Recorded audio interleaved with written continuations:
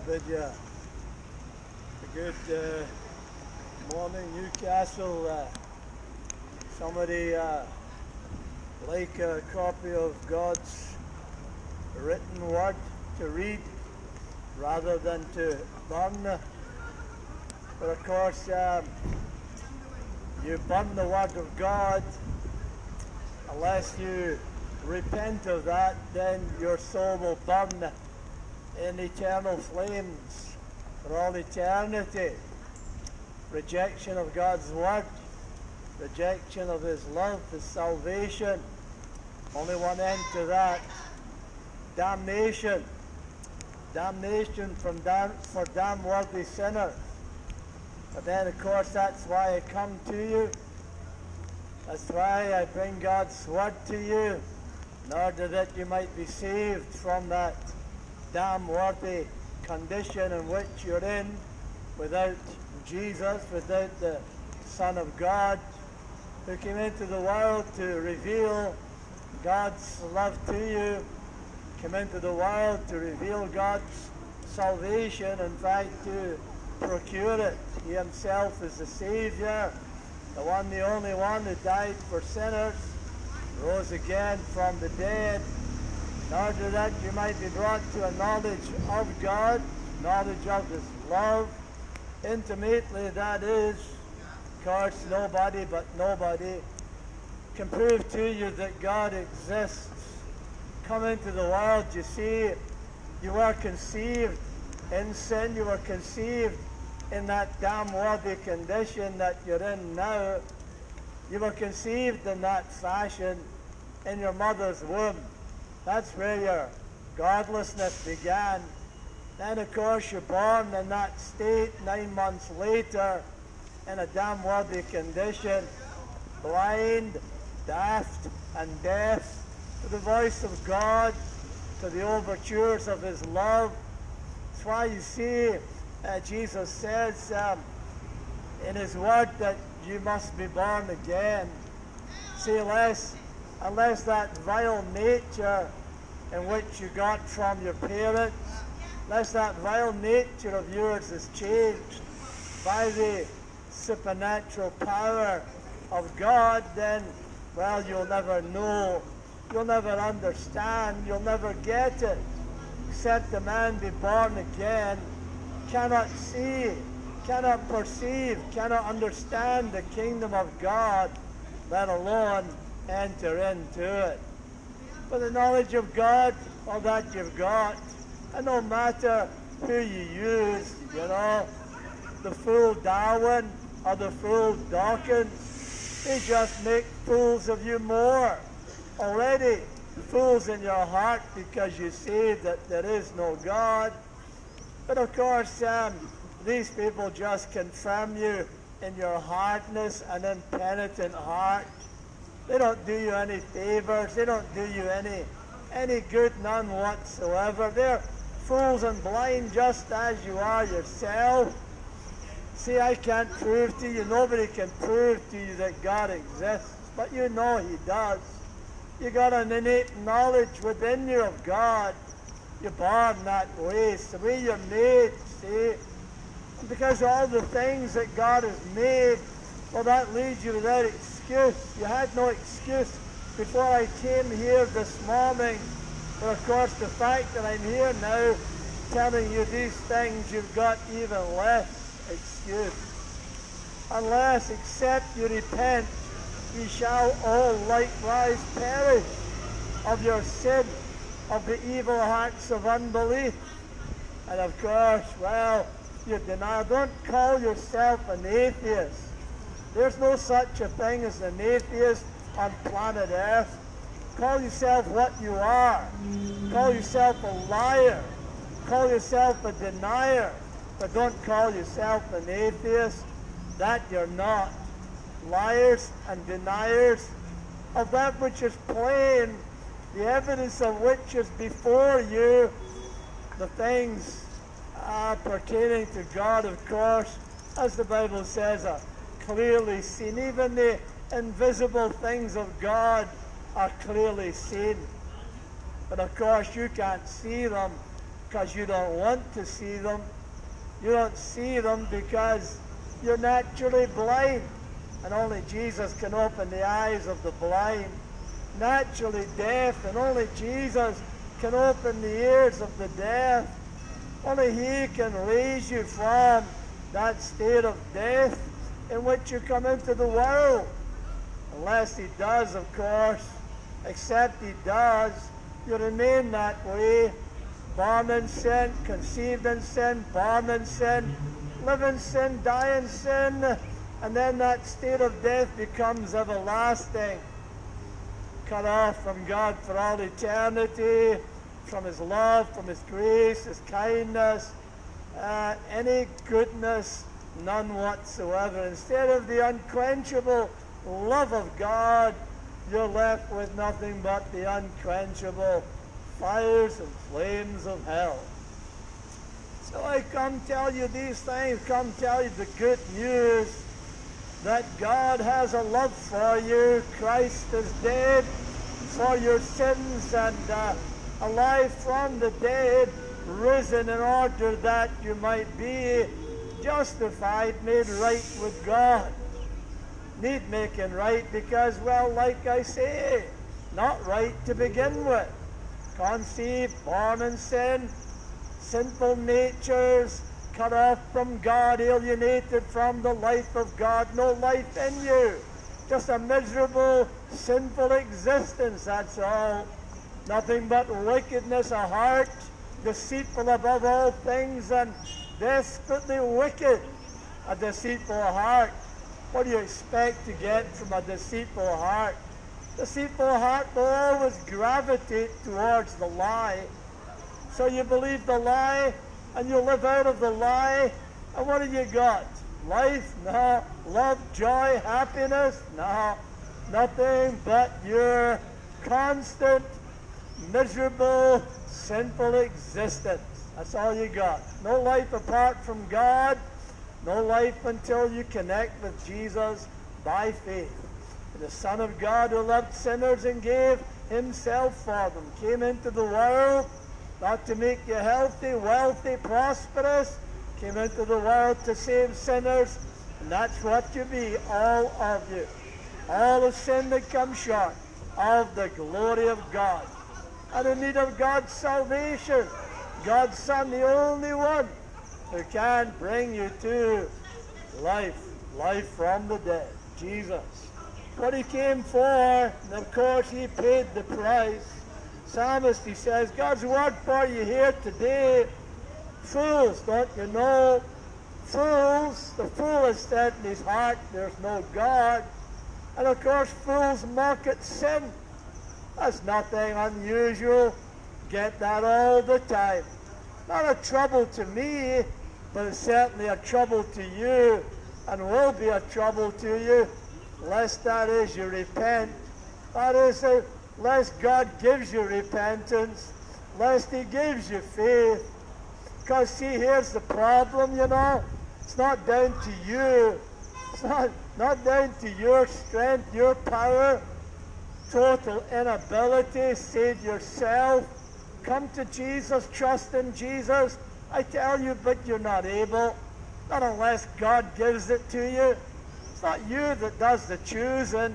It's God does that It's whether he'll have you or not.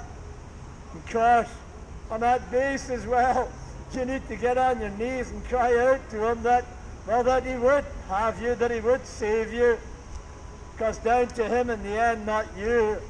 I pity, I pity your blindness, your mockery, your foolishness. Doesn't trouble me in the least. But it does fill my heart with pity, fills my heart with sadness the pitiable blindness of your hearts. I pray God today would have mercy on you, that He would reveal Himself to you, His salvation to you, His Son to you, reveal your sin to you first of all, convict you of it, that you might be, you might be saved. No guarantees. I preach the gospel to you in order that with the hope, the prayer, well, that God would have mercy on you, that He would turn you turn you out of your foolish hearts of unbelief, evil hearts of unbelief. That he would turn you out of your sin, out of your darkness, and into his marvelous light. Light for the word of God for you here today. Psalmist, he says, Psalm 49, you want to check it out. But God will redeem my soul from the power of the grave, and he shall receive me. How can he say this? His soul will be redeemed. Well, because the redemption price has been paid. That's why. Price has to be paid, you know, for sin in order to buy you back, you know, from that dark path of sin that you're in by nature. And of course by practice too. It's not just the practice, it's your very nature, you know. Hating God and hating your neighbor. Of course that's writ large, isn't it? All over your society today. Hatred for God, you know. And the proverb says that, well, those that hate me, God that is, they love death. That too is writ large all over your society today. A love affair with death, you know, killing, killing by means of abortion, by means of euthanasia, drugs and violence, killing, killing, killing, hating God and hating your neighbor. That's your very nature. That's why you live in a nasty world, an evil world, an evil society, a murderous society, a dangerous society. That's why you have to lock your doors every night and every day. That's why you have to lock your cars, because there's evil people afoot, and you're one of them. Lest you've been to Jesus, that is.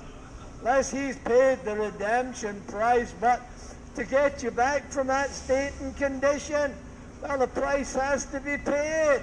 Somebody has to pay the debt, you know, sin. And of course, well, that's the price. Jesus says you can't pay yourself. Unless he says you pay even the last farthing. He says you never get out of that jail of sin and of death and hell. Never get out of it unless you pay the last farthing. In other words, you can't pay. It's beyond your, no matter how much money you got, no matter how rich, wealthy you might be, you haven't got enough to pay the debt of sin. Only one could do that, Jesus. That's what he came for. That's what he lived, loved, and died for on that cross. So that we right now, over his cross, now paid in full. The debt's been paid in full by Jesus. His blood was the redemptive cost, the price. Son of God had to come into the world, take our nature, become one of us, live and love and die, rise again from the dead. But the price has been paid.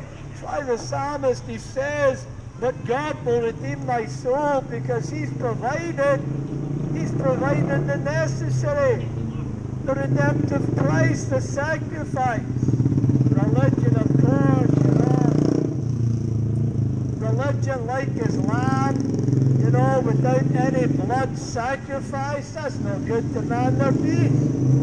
No redemptive price there, no debt paid there, no blood sacrifice.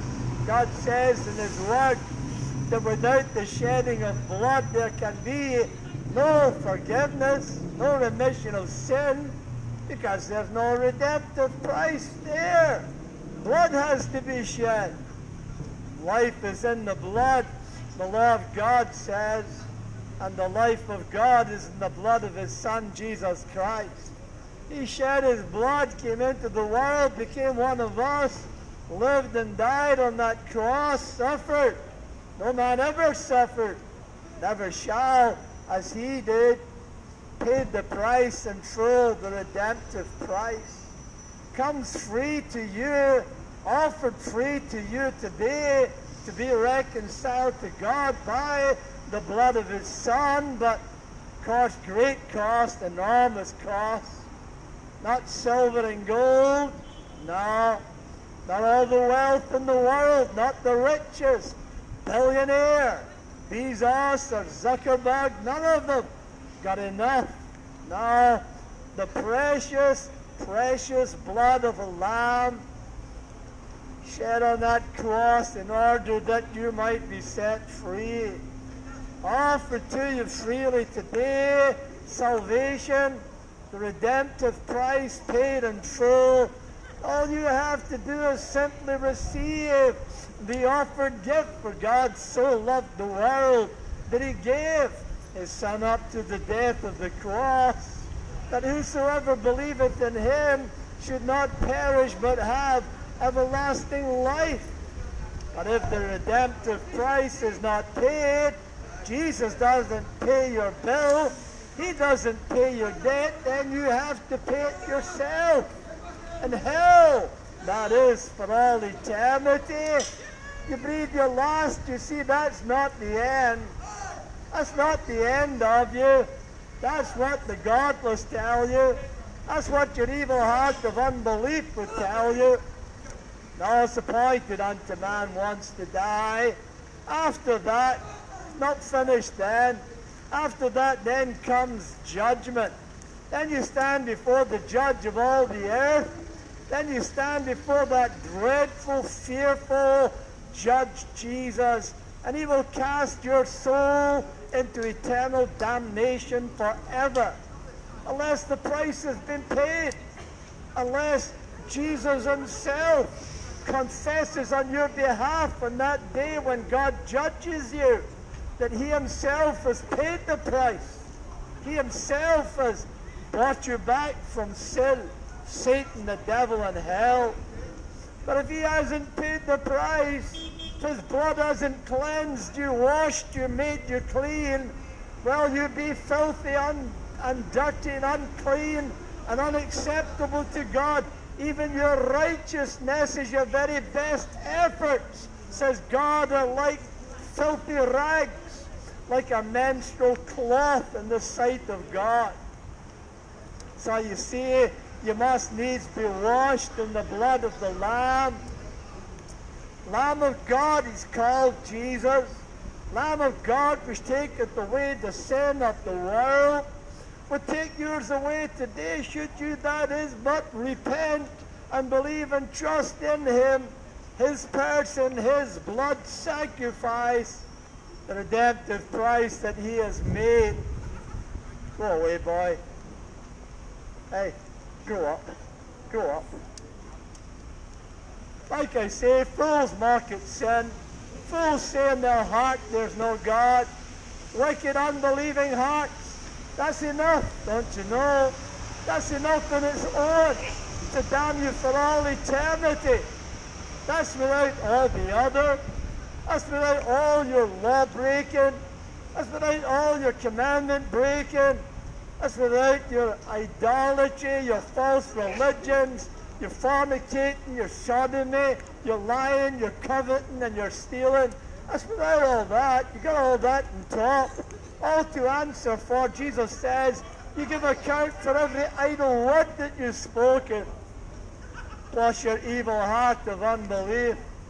Now, for that, my friends, now, even presently, you are in a state, a downworthy state and condition.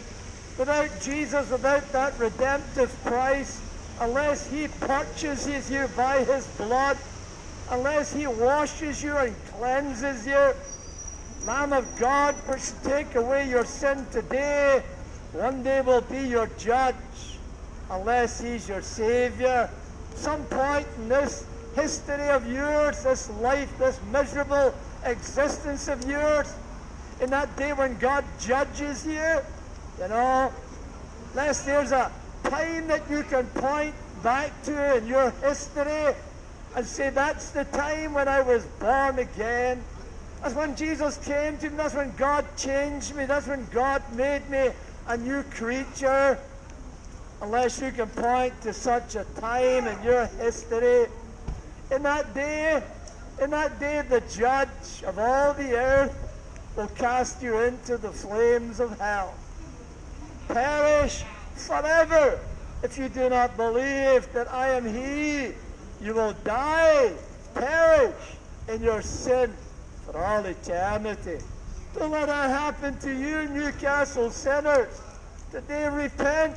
Today turn to Jesus for the redemptive price. Call upon his name. Whosoever shall call upon the name of the Lord, Jesus that is, shall be saved. Call upon his name today. Ask him. Cry out to him that he wash you. Wash your sin away. Give you a new heart. Make you a new creature. Cause you to be born again. Because unless you are, you'll never see, never understand, perceive the kingdom of God. Let alone enter into it today, not tomorrow, not tonight. You haven't got tonight. What if God was to require your soul tonight? What if He was to take you out of this world this afternoon? You haven't got tonight, you haven't got tomorrow, you haven't got next week, you haven't got your old age. Now is the time, the accepted time, says God, the only time that you've got. You're not guaranteed another minute. So you need to get on your knees, Newcastle Centre. Cry out to God, plead with Him that He would have mercy upon your damn worthy souls.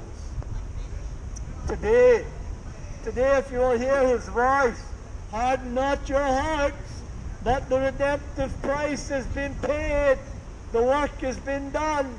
Nothing for you to do but simply believe, truly believe in Jesus Christ, the Son of God. If thou canst believe, all things are possible, even your salvation. The faith in the Son of God, who has done the work, paid the price, the redemptive price. It's the power, you see, of the death of Son of God, the power over death that is. Don't you know that blood that he shed on the cross, divine blood, divine blood, the blood of God's Son, Jesus Christ shed on that cross, that's what makes it powerful. That's what makes it effective. It can take away the worst of sin, the deep dyed sin, you know, ingrained sin in your DNA, in your very natures, in the vitals of your soul. You know, these, these wicked addictions that you've got, you know, to drugs and alcohol and immorality of all kinds, you know, that you can't get the beating of, you can't overcome the blood of God's Son, Jesus Christ. Give you the beating of them, deliver you from the deepest dyed sin. It's powerful blood, powerful blood of the Lamb. Oh, I tell you, the worst of sinners. Tell you about, I tell you about Islamists. Tell you about drug addicts. Tell you about drunkards that have been saved, washed in the blood of the Lamb, made clean, made fit for God, made fit for heaven, made fit for purpose, for living even in this world. Saved. The blood of God's Son applied to the soul. Redeems. It's powerful. It's effective. I tell you, the worst of you. Change you. Transform you. Wash and cleanse you but break, cancel the power of sin. I mean, if you can't, can't overcome your addictions, uh, you can't overcome your addiction to, you know, to cigarettes, that drug, or alcohol, or your immorality, your sodomy, your fornicating. I mean, you can't give those up. You can't break the power of those, those lusts and habits. All the religion in the world won't do that for you. Only one commodity, only one. The blood of God's Son, Jesus Christ, shed on that cross. The redemptive price has been paid, paid in full. And those who trust in Jesus, His person, His blood shed on that cross, they get washed, they get made clean, they get delivered from their vile sins and their vile hearts of unbelief. They get saved, they get washed and they get delivered from the power of sin. and of course from the power of death.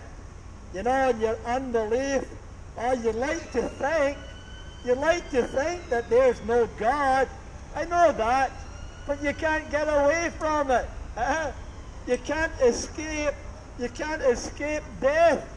That's all you got to look forward to. You godless, atheistic people, hear me. That's all that you've got to look forward to. And it trolls you, it follows you every single day of your life and spoils everything that you do, everything that you obtain, because that's all that you've got to look forward to. Death is coming. The Grim Reaper's coming. One day he'll wrap his slimy fingers around your soul and he'll drag it out of your screaming body and he'll return it to God who'll dispense with your soul on the basis of what you've done or not done with his son Jesus Christ. Know ye not that the unrighteous shall not inherit the kingdom of God? Be not deceived, neither fornicators, nor idolaters, nor adulterers, nor effeminate, as boys that give themselves to men for toys, nor abusers of themselves but mankind. That's homosexuals, male and female.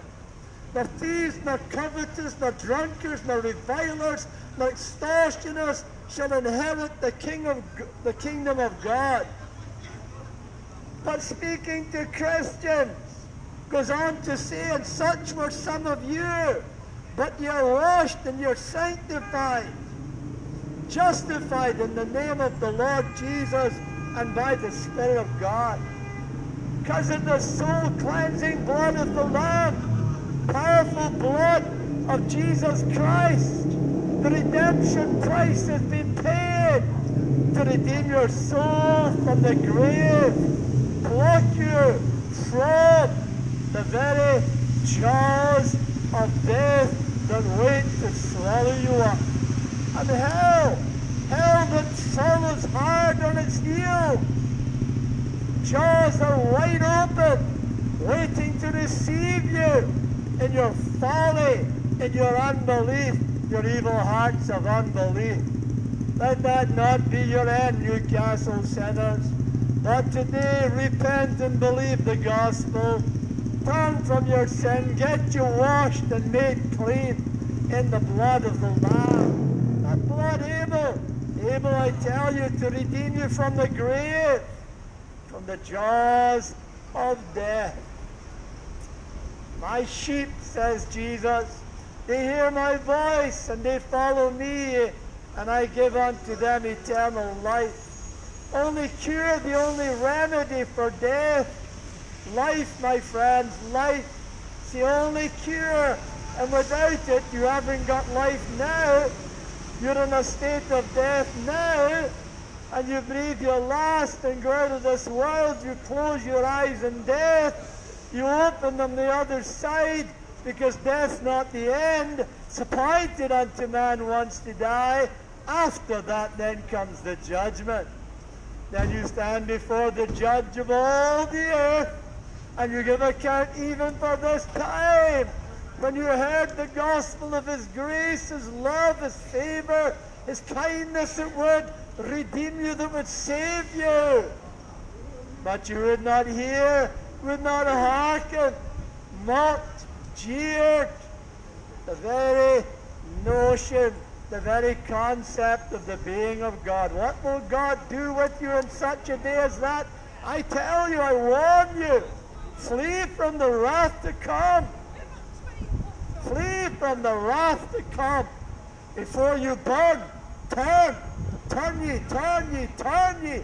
Why will you die, saith the Lord, when there is life, eternal life, to be had, to be found in Jesus the one who paid the redemptive price. Work has been done. Jesus, Son of God, accomplished it all. Nothing for you to do but to receive. it. For he shall receive me, says the psalmist, received on the basis of God's grace, his free grace. Amazing grace, how sweet the sound that saved a wretch like me. Saved likes me, saved, I guess, could save you. Well, God willing to, that is. But of course, His grace is not only free, it's sovereign. He gives it to whoever He pleases to give it to. But it is free. You see, you can't work for it, be religious for it. You can't pay for it. You can't be good for it. You can't be or do nothing for it. Free, gratis. That's the word, you know. Gratis, you know. Don't do nothing. All you have to do is simply reach out the hand in humility, you know. Humbling yourself under the mighty hand of God and reaching out the hand of faith and humility and receiving the gift offered to you. God so loved the world that he gave his only begotten Son, the gift of God, eternal life. Whosoever shall believe on the Son of God shall not perish but have everlasting life for the of reception, receiving the wonderful free grace of God. He came to his own, his own people, that is. They did not receive him. But to those who did receive him, those who did humble themselves, those who did acknowledge their sin, those who did repent of their sin, those who reached out the hand of faith and received it, to them that believed on his name, he gave them the right, the authority, the power to become children of God. How you become a child of God, how you enter the family of God, not by being religious, doing religion. All the religion in the world won't save you, won't change you, transform you, won't get you a pass on that day. No, only grace, only free grace, grace of God in Jesus Christ by grace. Are you saved through faith? Through faith, faith in the Son of God, that is the person of Jesus, God and man in one person, died on the cross, shed his blood, suffered, bled, and died. Take away your sin, its guilt, your shame, your blame. Lift the curse of God from off of you, deliver you from the wrath of God that hangs over you now. That's what he died, what he suffered and died for on that cross to deliver you from such. By grace, by the grace of God, not your doing, by the grace, the free grace of God, through faith in the Son of God, loved sinners, rebels, yeah. Under that cross there were soldiers, there was thieves, there was murderers, and there was religious people, and there was mockers there as well and there were those being saved, eyes being opened to see, to behold the Son of God, to know Him, to trust in Him, to believe in Him, and be saved. So you're not beyond the pale yet, Newcastle. You're not beyond the pale yet. Not unless, of course, that is, you've committed the unpardonable sin. There's only one of those. But if that's not you, then there's hope for you, but only in Jesus. I am, he says, the way, the truth, and the life. No man cometh unto the Father but by me. No one gets right with God in any other name. Neither is there salvation in any other. None other name under heaven whereby you must be saved. Jesus alone. No other. No, sir. No. There's one there, look.